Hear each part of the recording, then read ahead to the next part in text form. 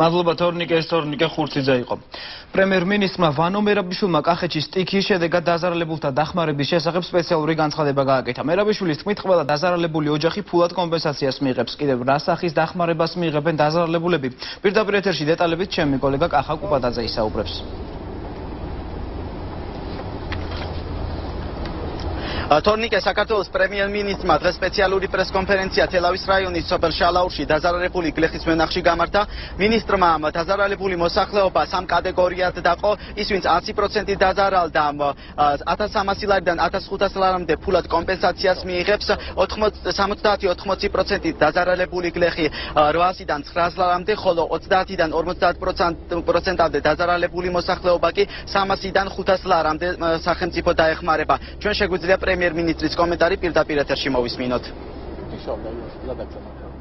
ჩვენ ვაპირებთ ყველა დაზიანებულ სახურავს, ყველა დაზიანებულ ოჯახს დავეხმაროთ სახურავის აღდგენაში. ამ წუთში ვახორციელებთ შხამქიმიკატების და საწვავის დარიგებას, უფასო დარიგებას იმისათვის, რომ ლეხემა გადაარჩინონ ის ნარგავები, რომელიც ბოლომდე არ არის განადგურებული, რათა მომავალ წელს მაინც შეძლონ მოსავლის მიღება. ჩვენ ბანკებთან ერთად მოვილაპარაკებთ და ერთი წლით გადავდებთ გავაგზავნებთ ამ კრედიტებს და ამ კრედიტებს არ დაერიცხება არც 1%.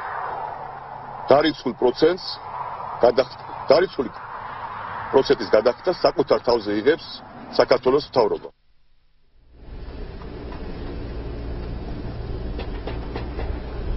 ელექტროენერგიის გარეშეა დარჩენილი კვლავ თელავის რაიონი. ანალოგიური მდგომარეობა გაზმომარაგებასთანაც დაკავშირებით როგორც ჩვენთან საუბარში ენერგეტიკის მინისტრმა ალექსანდრე ხეთაგურმა განაცხადა ამ ხრივ სამუშაოები აქტიურ რეჟიმში მიმდინარეობს და თელავის რაიონის რიგ სოფლებს ელექტრომომარაგება უახლოეს საათებში აღუდგებათ.